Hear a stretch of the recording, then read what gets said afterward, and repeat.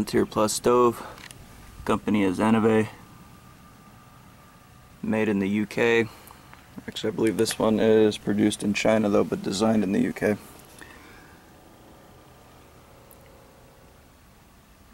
So I wanted to get this for a tent that I ordered, and this actually fits the bill perfectly. Here's some of the specs. So you see there's a stove, a flue section, spark arrestor, and uh, is that 140, no 14.9 kilograms net weight. So I don't know what that is. I gotta convert that. Assuming about 40 pounds. It feels pretty dang heavy, but um, it's pretty cool. So if you guys want the website here, sorry I'm spinning it around. Anevay.co.uk. I'll provide the links, but right now let's go ahead and break the stove open and uh, show you what it's all about. Okay, so I went ahead and cut open the box. This is how it's packaged inside. Let me cover up my information here.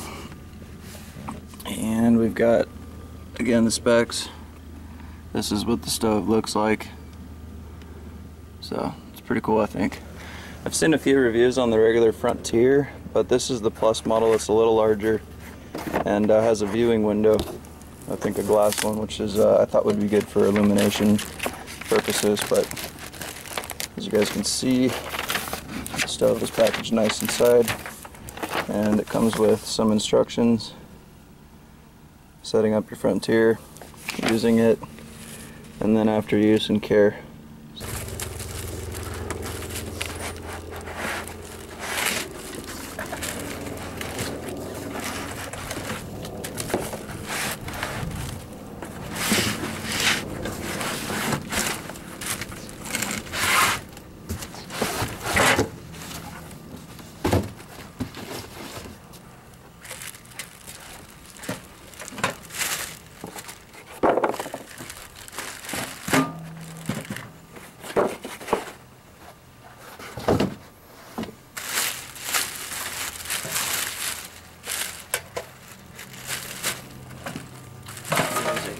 Handle on the side. Large silica packet. And let me see. Set this down. Okie dokie folks, I got the Frontier Plus from Anevay. It's the wood burning stove. Contacted the company that I bought this from and they were generous enough to just ship me out a brand new piece of glass. So that worked out real good. So I just switched out the door here with the new hinge. And uh, we're set to go. Back in action. So I'm gonna go ahead and set this up and we'll set it next to the pool here and uh, just burn that paint off. Alright, so pulling these out one by one. Making sure.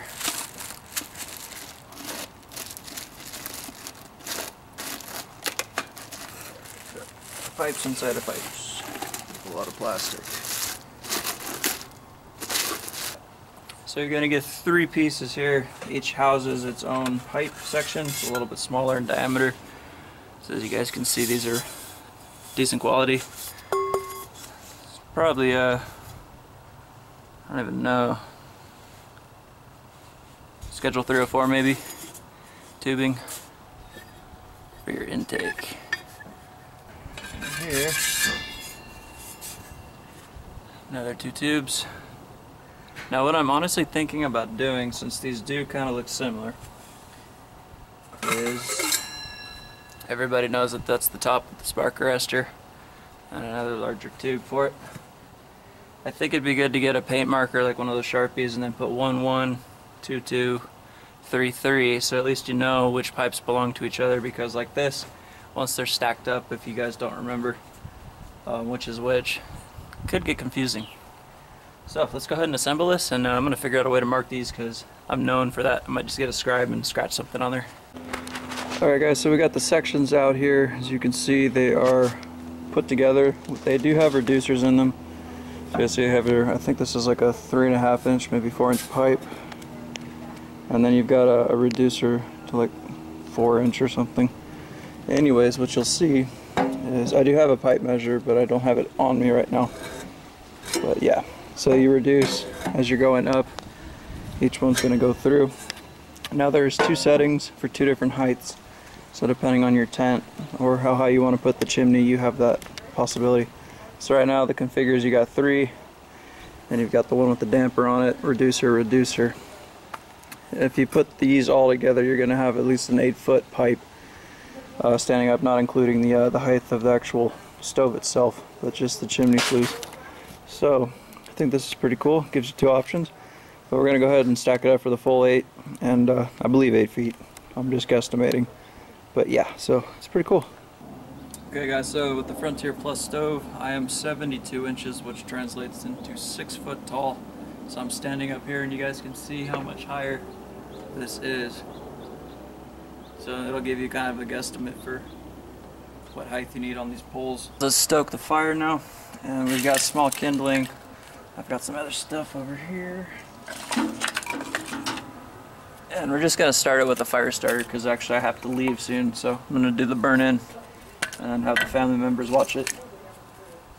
But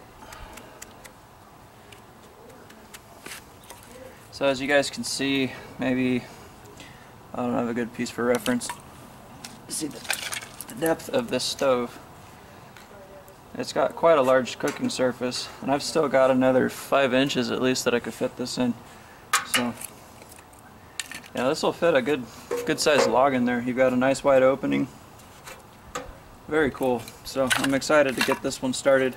So we've got some socks here. I'm going to show you the drying rack capabilities, and we've got the ashtray, which fits somehow in there. If I can get that in.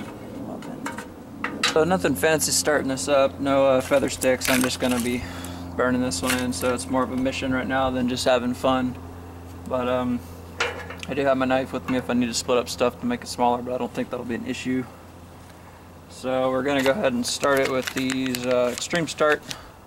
Basically just light the wrapper and good to go. So I'm gonna start stacking this in here. Throw some in.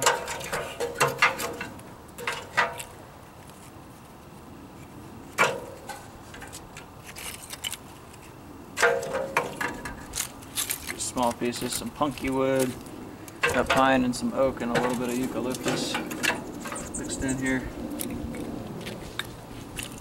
And some wood chips.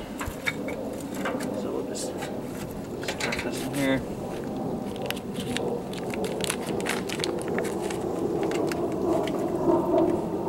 I'm gonna go ahead and position the camera so you guys can see in the stove as it starts to work. It's in here. Let's go ahead and light it this fire started. Christening for Frontier Plus stove. So damper's open.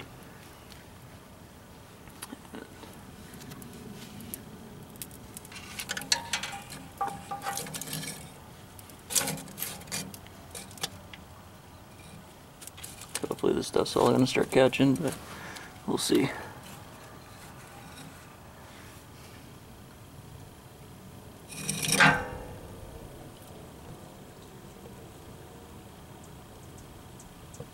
Probably should have built it on the bottom of the fire, but you know, it is what it is right now. Alright guys, I will bring you back when we get this thing roaring a little bit and uh, see if we get some smoke from the chimney, but I think it's going to take a little while. Alright, so a lot of smoke coming back out. We do have smoke coming from the chimney. Zoom in here. The smoke is coming out of the chimney. Not the best smelling stuff, but hey. Well, uh, you can see now, let's just zoom in instead of shoving the camera in. Got that flame looking right up that pipe. This looks like it's going good now. So uh, I'm going to stir this up a little bit and see if I can get the flames to uh, pass on the right side of the wood because that's all pine. Come back and now we'll close the door and uh, start burning this in. Okay, so we've got this really rotted out. You can see something was eating it. This is oak. Good sized pieces. I'm gonna lay one on top of the stove so you guys can see. That will fit inside. I want a little bit shorter just for obvious reasons, but I threw one in. You guys can hear that roaring. Sounds like a jet engine. Really cool. So what you do, this point is you can close it You've got your damper. You can close that, open it as much as you want. I'm gonna keep it open. But what's really nice here is it's got two stages. And now it's quiet. Instead of that crackling through the window.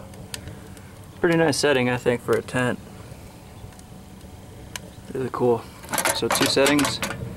That one cracks it a little bit. Get more airflow. Now you can start to see the paint burning off. Once we get that heat on, that's what we're trying to get rid of right now. Getting all that paint off. I actually can smell it from here. It doesn't smell that good. But uh, it's roaring now. Really nice. I'm gonna keep this glass door closed. Alright, so another benefit of this stove obviously is drying wet items. So as you can see, I've just dropped these in some water. Let's go ahead and uh, evaporate them. See how well this uh, this works. This is putting out a lot of heat. So.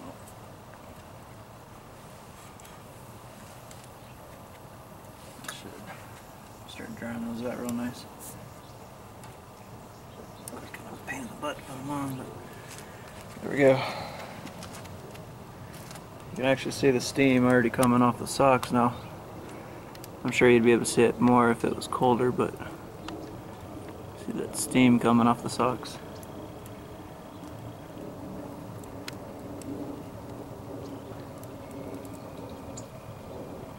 Frontier Plus, baby, this stove is awesome.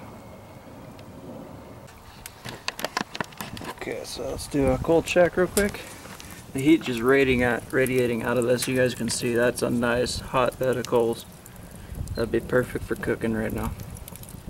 Definitely a good amount of heat coming up. Especially with that door closed, it really concentrates it. Really, really digging this stove.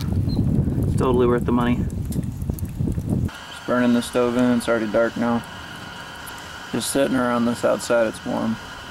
A lot of radiating heat around the outside, especially on the front, feels nice too. I really do like the feature of this glass, half glass door, so you can see what's inside, what stage your fire is at, without having to open the door and check it. Still trying to figure out this uh, damper here. I found out that if I if I close it, it starts to kill the flame a little bit, and then I can use the damper on the top of the stove. Right here.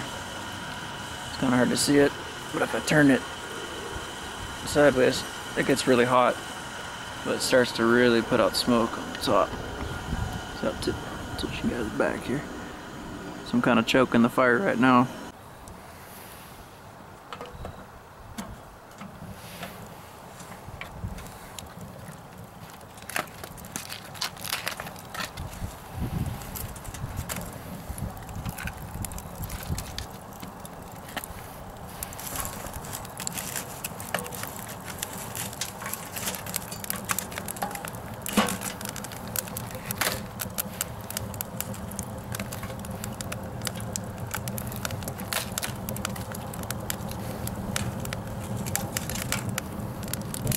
Knees are really toasty right now.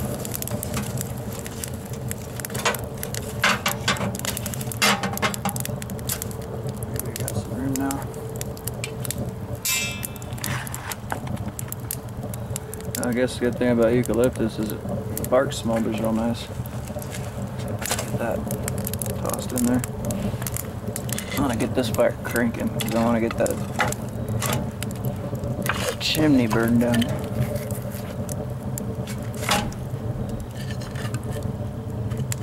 We're gonna crank this fire.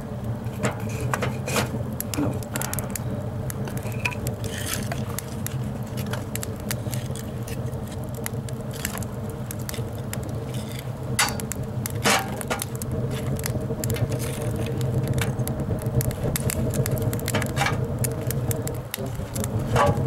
Guys.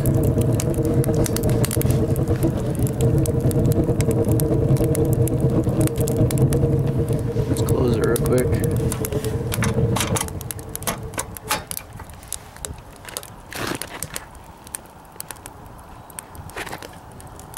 Snuff it out a little bit.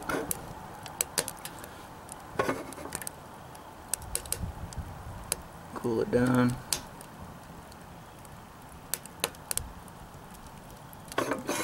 Air now. Have to burn gauge.